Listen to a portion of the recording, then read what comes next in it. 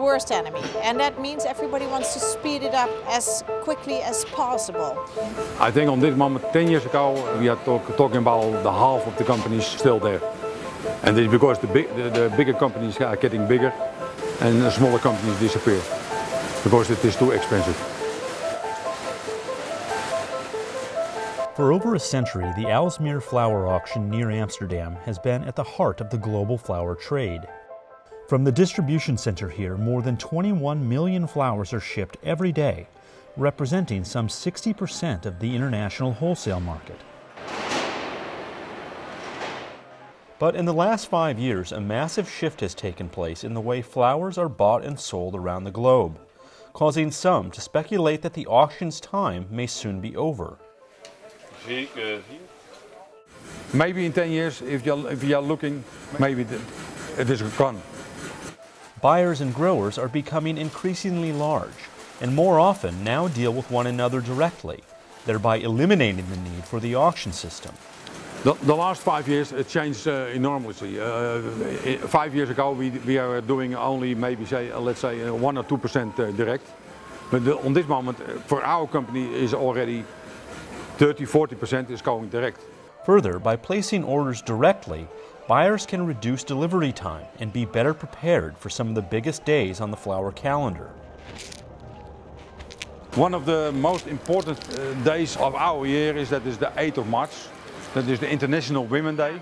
All the male people give the female people flowers. Santander, borst, eentje mag Santander. A unique Dutch institution, the auction system that is disappearing, has existed since flower buying went from the local pub to an organized industry. The clock is a full euro, billed out of 100 cent. So that means where the red dot stops is the price of only one flower.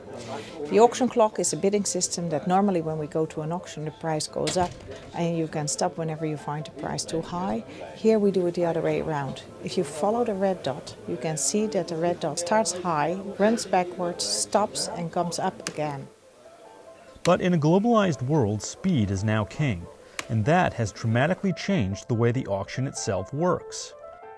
Until last summer, carts brimming with flowers were brought out onto the floor. Buyers got to see and smell and touch them. Now, flowers are kept in cold storage to keep them fresher. Most buyers only see photos. I don't like how, how it goes now in the photos. You, you miss the feeling with the flowers. The auction process itself has also increasingly moved to the internet. This is how we buy now at, uh, at, at Van Dijk. We sit here with eight flower buyers and we buy on a, on a TV screen. For decades, these seats were packed with buyers during auction. Now, on a Friday, traditionally the biggest auction day of the week, the room can feel almost empty it was five years ago uh, more fun uh, on this place because yeah everybody was sitting there and uh, yeah there was friendship and competition and now it's uh, complete silence. What's at stake is not just the existence of a century-old though perhaps quaint institution but also some say the future of the Dutch flower industry. There is a threat, we have to deal with it. In what way, more in detail, we have to work that out.